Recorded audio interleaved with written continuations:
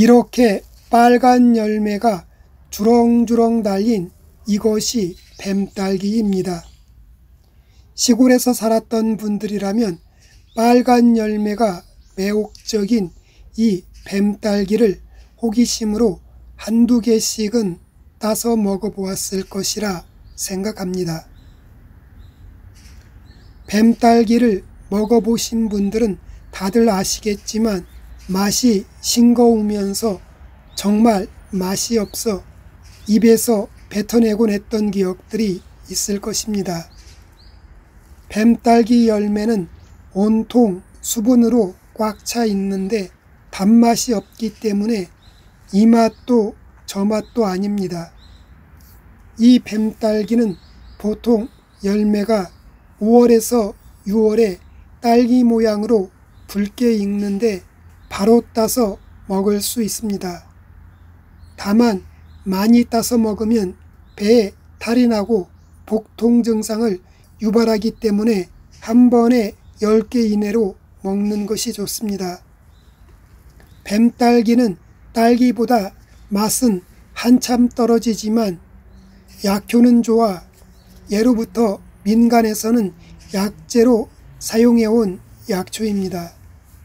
옛날에 뱀딸기 열매는 배고플 때 먹었던 구황식물이었는데 그러나 일부 지역에서는 뱀딸기 열매는 뱀이 먹는 열매라는 인식이 강해 절대로 먹지 않았습니다.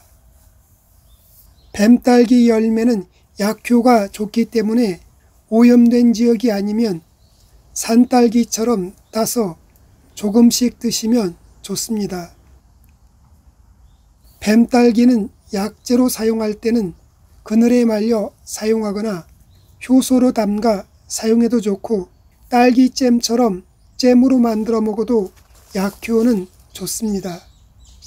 뱀딸기에는 강력한 항산화 성분인 폴리페놀과 리놀렌산, 사포닌, 플라보노이드, 비타민 A, 비타민 C 등의 성분들이 들어 있습니다. 동의보감에 뱀딸기는 가슴과 배가 몹시 뜨거운 것을 다스리고 옆구리에 생긴 종창을 낫게 하며 독충이나 뱀에 물린 데, 벌레에 물린 데, 종기, 화상, 인후염 등을 낫게 한다라고 기록하고 있습니다.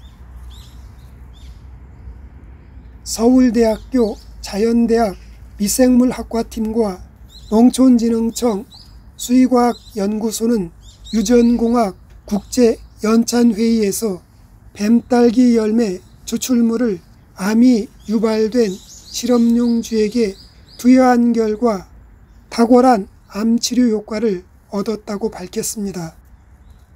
실험 결과 복수암이 유발된 쥐는 80%가 25일 이내에 죽고 100%는 한 달 이내에 죽은 반면 뱀딸기 추출물을 투여한 쥐는 85%가 25일을 살았으며 60%는 두 달 이상 살았다고 밝혔습니다. 뱀딸기는 암 치료와 면역력 증강에 탁월한 효과를 보였다고 학계에 보고되면서 주목을 받기 시작했습니다.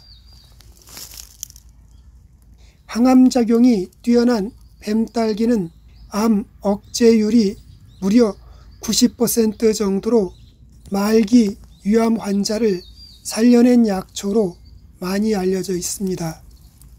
뱀딸기는 말기 위암뿐 아니라 자궁경부암, 방광암, 피부암, 후두암, 복수암, 폐암 등 각종 암 치료에 탁월한 효능을 보입니다.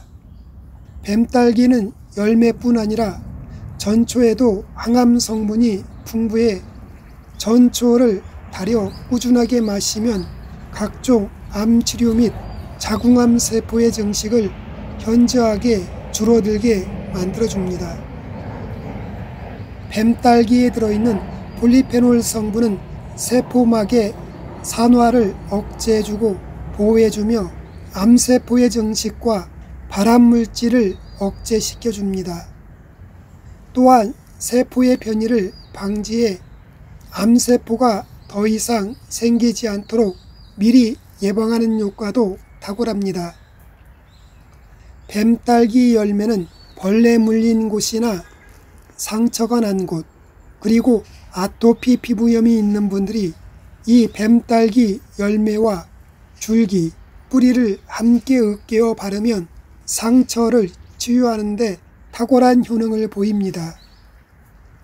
뱀딸기 열매를 효소로 담가 효소액을 물에 타서 마시면 역시 상처를 치유하고 아토피 피부염을 다스리는데 좋습니다.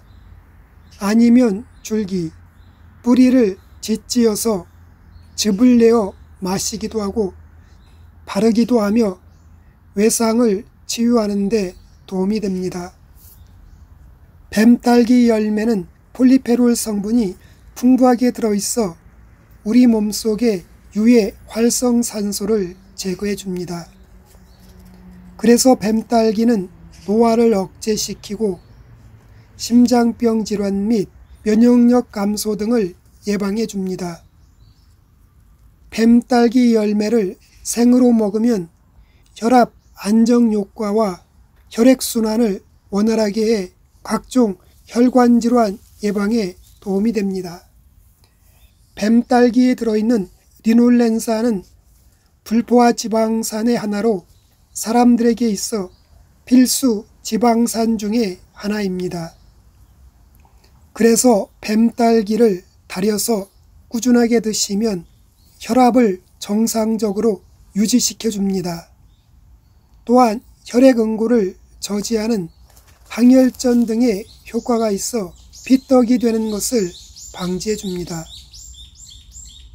뱀딸기는 많이 먹으면 배탈이 날 수 있으니 적정량을 섭취하시기 바랍니다.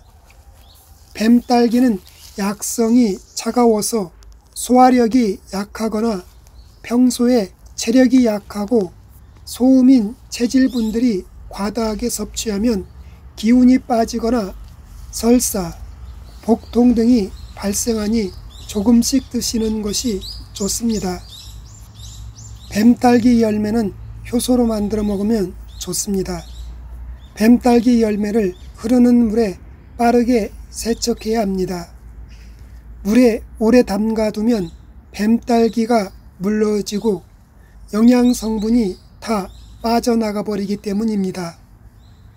뱀딸기는 전초 전체를 뿌리째 채취해서 햇볕이나 통풍이 잘 되는 그늘에 말려 약재로 사용합니다. 잘 말린 뱀딸기 8에서 13g을 물 1리터에 넣고 물이 끓으면 약불로 낮춰주고 물이 절반으로 줄어들면 불을 끄고 식을 때까지 그대로 두었다가 냉장 보관한 다음 식후에 따뜻하게 해서 드시면 좋습니다. 종기와 뱀, 벌레에 물린 상처에는 뱀딸기 생풀을 짓지어서 붙이거나 말린 약재를 가루로 빻아 환부에 바르면 됩니다. 민간에서는 예로부터 뱀딸기 열매즙을 환부에 발라 사용하기도 했습니다. 오늘은 학계에서 주목하고 있는 뱀딸기에 대해 알아보았습니다.